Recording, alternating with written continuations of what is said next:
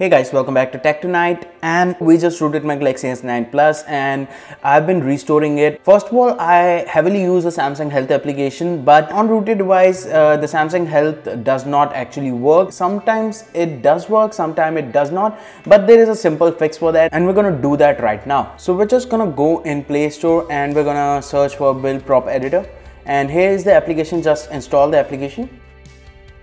So it is installed now and the application opens up grant the permissions and you're just gonna search for a line over here which says ro.config.tima so here is the uh, line over here just click on it close the ad and change the value to 0 and this line will be down in the description so if you get confused you can copy from there. And for some reason it did not change save for some reason it is not getting changed. And if it does not get changed you can just uh, go and click on the pencil icon and you're gonna search for the same line.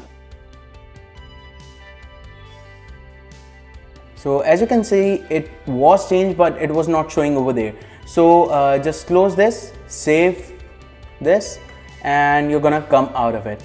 So let's just make sure that it is actually changed. Let's search for it again so let's close the application and search for it again. So as you can see, it has changed to zero now. So uh, just come out of the application and restart your device.